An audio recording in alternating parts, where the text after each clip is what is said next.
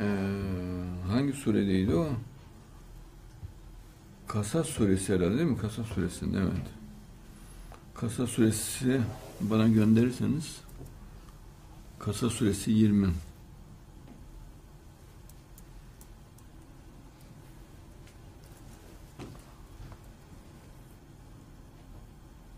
Evet. Ee, Kasas suresi 20 şeytan Allah'a sınırım. Şehrin öbür yakasından bir adam koşarak gelip dedi ki bak koşarak bu bir canlılık göstertiyor yani çok hareketli. Ey Musa önde gelenler seni ön, öldürme konusunda aralarında görüşmektedirler. Onların içinden geliyor önde gelenler. Firavun'un devletinin içerisinde bir insan. Ve en mahrem, en gizli toplantının içinde. Çünkü bu önemli bir karar. Orada prens de çünkü Hazreti Musa. Sarayda prens de. Prensin öldürülmesi konusunda aralarında konuşuyorlar. Yani şehit edilmesi konusunda konuşuyorlar. Ve devletin ileri gelen erkanı bunu konuşan. Bak ey Musa önde gelenler seni öldürme konusunda aralarında görüşmektedirler. Bu istihbarat ancak devletin üst düzeyinde, en en üst düzeyinde kişilere mahsus bir özellik. Artık sen çık git, gerçekten ben sana öğüt verenlerdenim. Yani muhtemel gelişmeyi de biliyor.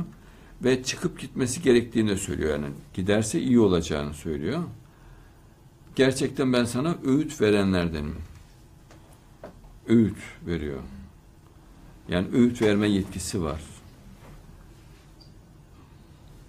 Yine Yasin suresi 20'de e, şehrin öbür yakasından bir adam koşarak gelip dedi ki Ey Musa önde gelenler seni öldürme konusunda aralarında görüşmektediler. Artık sen çık git.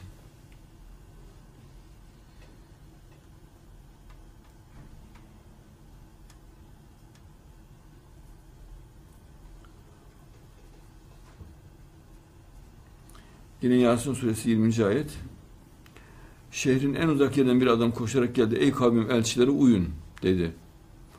Şimdi hep aynı şahıs ve koşarak gelme. Hısır'ın klasik özelliği ve uzaktan gelme. Ee, ve emin olması kendisinden.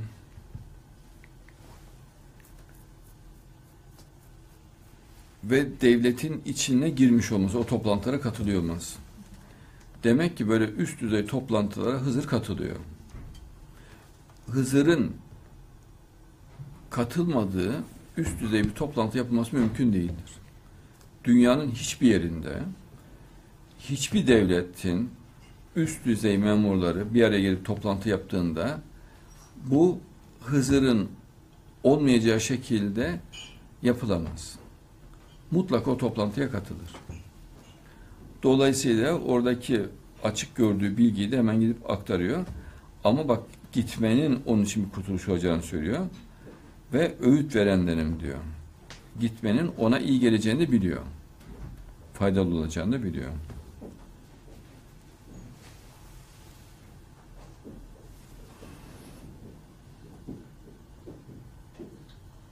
Hızır'ın bilinen siyasi bir kimliği var mıdır? O toplantıda bulunmak için yoksa Hızır olduğunu bilerek mi e, katılır? Yok Yer yani e, hiç ummadıkları bir kişi olarak girer toplantıya. Halbuki o toplantıda da o olmamış oluyor. Ama o toplantıya o kişi olarak girer. Mesela bakan olarak girer ama ba- halbuki bakan katılmamış. Bakan evinde olmuş oluyor. Ama onlar onu araştırmadığı için yani araştırmaları kaderinlerinde olmadığı için bilmiyorlar. Yani orada toplantıda zannediyor. Her seferinde farklı kişi Her seferinde farklı kişi evet. Ama bazen de bir sehpa görünümü de alır. Yani mesela bir sehpa görünümünde e, orada bir efendim süs çiçeği görünümünde de orada da öyle, o şekilde de alabilir. Ama mutlaka bulunuyor toplantılarda. Hızır'ın özelliğidir.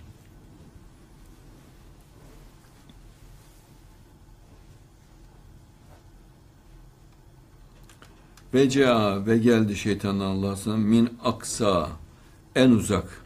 Mescid-i Aksa da oradan geliyor. Aksa. En uzak. El Medineti şehir. İstanbul içinde kullanılıyor El Medine, şehir. Raculun bir adam. Resul anlamı recül tebliğci. Tebliğ yapan kişi. Bir adam. Yesa koşuyor. Koşarak gelme. Kale dedi ya ey kavmi benim kavmim ittebu tabi olun el mürselin gönderilmiş resullere.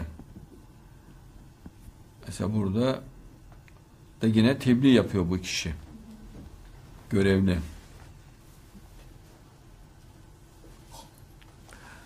Peygamberimiz zamanında münafıklar e, halk mantığıyla, avam mantığıyla e, olaylara yaklaştıkları için e, peygamberi eleştirirken de halk mantığıyla peygamberi eleştiriyor. Yani mesela diyor bir kuzuyu oturup yiyor diyor. Haşa adam diyor mesela. Ama mümin nereden zayıf olan hiç hayatında peygamber öyle bir uslup geliştirmediği için, geliştiremeyeceği için, tahayyül de edemediği için, düşünemediği için, düşünmekten dahi korktuğu için ona cesaret eden bir ahma görünce ona da cesaret geliyor bir sefer. Yani onun dediğini düşünmeye başlıyor bir sefer. Mesela diyor ki peygamber diyor haşa kadınlara düşkün diyor. Ya diyor hakikaten diyor peygamber de diyor kadınlara düşkün diyor. Ee, ama diyor biz diyor mesela savaşa gidiyoruz o diyor kadınlarla beraber oluyor diyor. Mesela böyle bir ahmakça ve şeytani düşünmeyi ona özgür hale getiriyor münafık.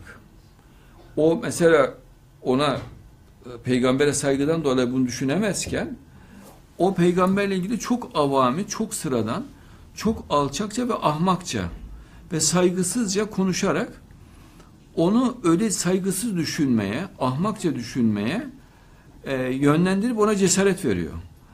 O zaman öyle işte o karaktersiz, içine kapalı, e, zayıf e, peygamberi kafasında yüceltmiş ama putlaştırarak yüceltmiş bir kişi bu sefer Allah bullak oluyor. Peygamberle ilgili öyle konuşulduğu için. Bu sefer bir, bir anda alta düşüyor kafası. Bu sefer onlar gibi konuşacak hale geliyor. Yani onlar gibi düşünecek hale geliyor. Onlar gibi düşününce de aklı zayıf olduğu için peygamberle bağı kopuyor. E, münafıkların safına geçmiş oluyor.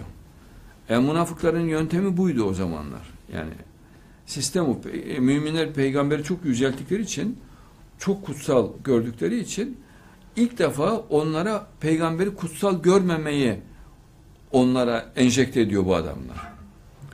O ruhu da ona alışık olmadığı için o kişinin bir anda allak bullak oluyor.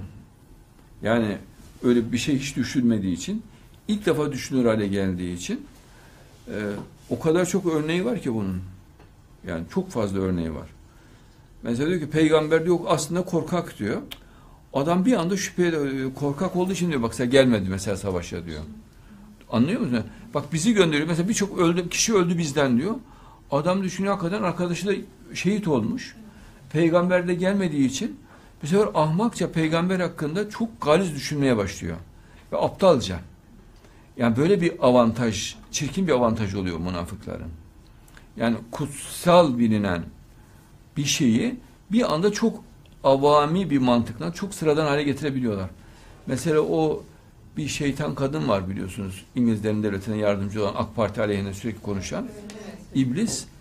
O mesela Allah'la ilgili mesela bir film hazırlatmış. Peygamberle ilgili filmler hazırlatmış. Orada Allah'ı haşa insanların alıştığı saygı anlayışının dışında çok çirkin bir uslupla yeriyor. Haşa. Mesela peygamberi çok çirkin bir uslupla yeriyor. Avam ağzıyla ve hakaretamiz bir ağızla. Şimdi adam onları izleyince ben o kadar kutsal gördüğü Allah'ı peygambere insanlar rahatça böyle çirkin sözler ettiğini görünce aptalca e, bir ruhla Allah'a peygambere saygısını kaybediyor. Yani o eski e, değer verme ruhunu kaybediyor. Onun için münafıklar onların bu zayıf yönünü sürekli deşeriyor ve irdeliyorlar. Ama normal bir müminde böyle bir şey olmasa bir mümin bilakis münafıklara karşı kini ve öfkesi kat kat artar. Mesela diyorlar ki münafıklar bu elçiye ne oluyor ki diyorlar peygambere. Yemek yemekte ve pazarlarda dolaşıyor. Adam diyor ki hakikaten diyor bizden yemek yiyor diyor. Bak ahmağa bak yani onu bile düşünemiyor. Pazarlarda dolaşıyor diyor ya diyor. Çok alelade bir insan diyor. Ben niye gözümde büyüttüm ki bunu diyor. Bu kişiyi diyor.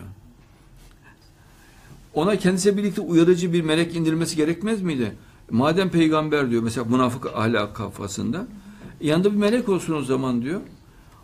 Ahmak olduğu için ona inanıyor o kafalanması gereken kişi.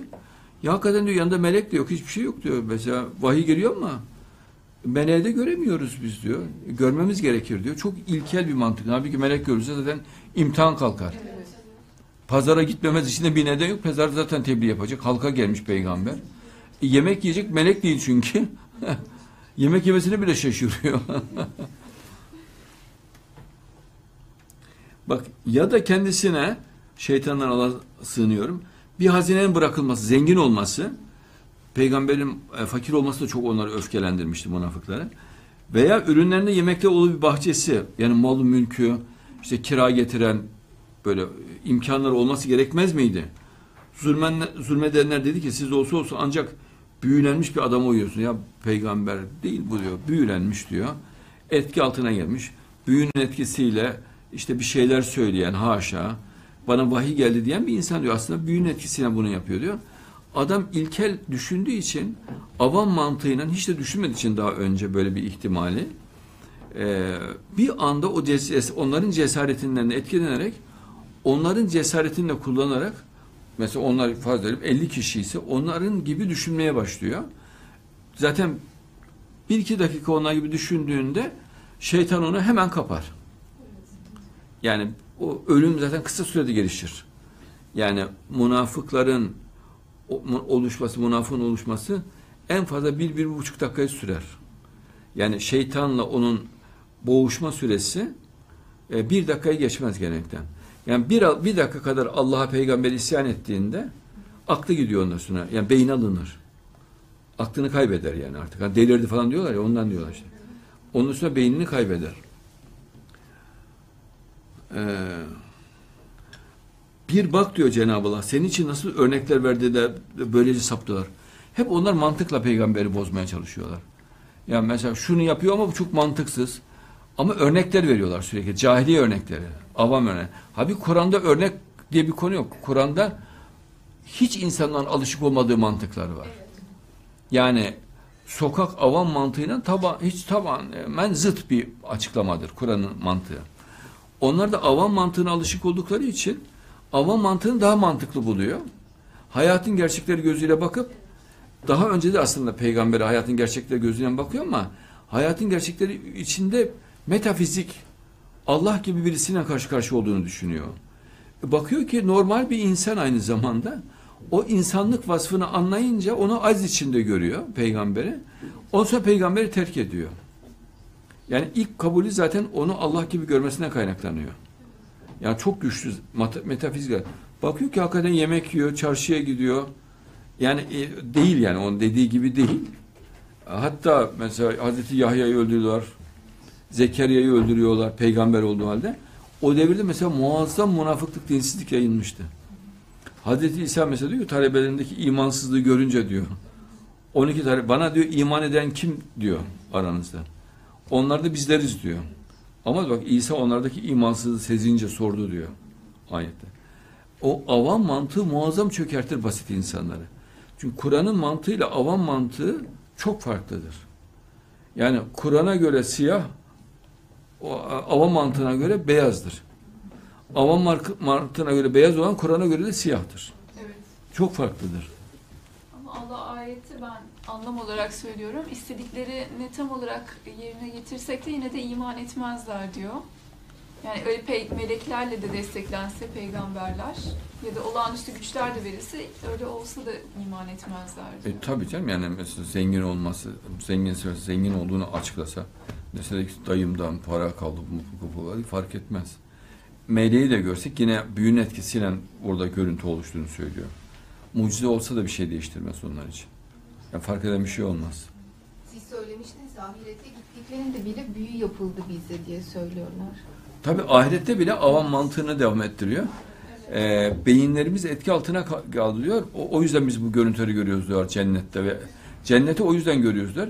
Cehennem azap görüntüsü de büyünün etkisiyle oluşuyor şu an diyorlar. Yani çok şiddetli büyü yapıldı bize diyorlar. Yani öyle hayatın uzamasının da yine büyünün etkisiyle olduğuna inanıyorlar. Mesela peygamber işlerinden peygamberi incitenler de var diyor Tövbe Suresi 61'de.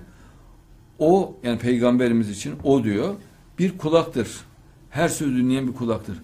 Avami bir kafayla. E, tabii ki peygamber tabii ki dinleyecek. Dinlememesi gerektiğine inanıyorlar. Dinlemesini suç gibi görüyor, mantıksız görüyor. Mesela onlar da evet abi ya haklısın falan diyor etrafındaki o yalakalar da. Bir anda galyana geliyorlar ve peygambere karşı tavır alıyorlar. Ama tabi bunlar basit insanlar yani böyle e, cehennem için yaratılmış özel varlıklar.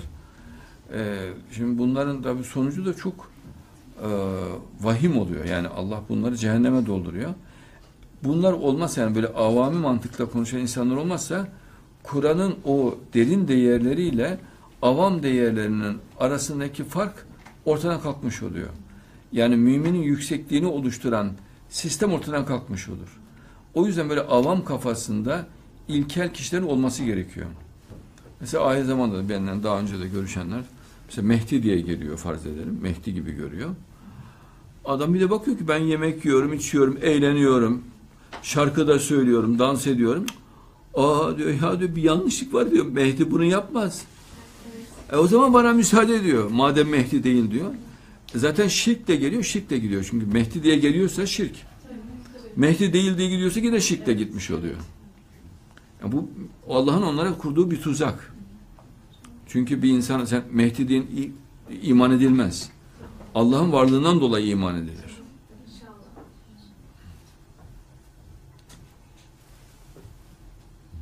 Mehdi olsa da olmasa da o İslam'a hizmet etmek zorunda.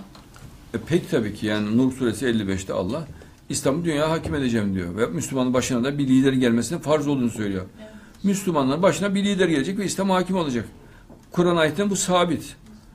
İster Ali olsun, ister Veli olsun, kim olursa olsun İslam başına birisi gelecek.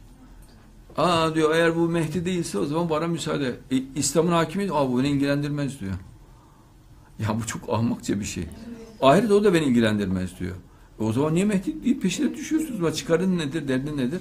Hani belki Mehdi diye olursa ona Mehdi'nin ona para vereceği, makam imkan vereceğini düşünüyor olabilir. E Allah senin belanı verir öyle bir şey olur mu? Ahmakça Müslümanlara yardım edersin, destek olursun yıllarca, köpek gibi kapıda beklersin çıkar için, sonra da Allah belanı verir, defolur gidersin şeytanın kucağına oturursun, şeytan seni e, kızağına bindirir götürür. Evet, 3000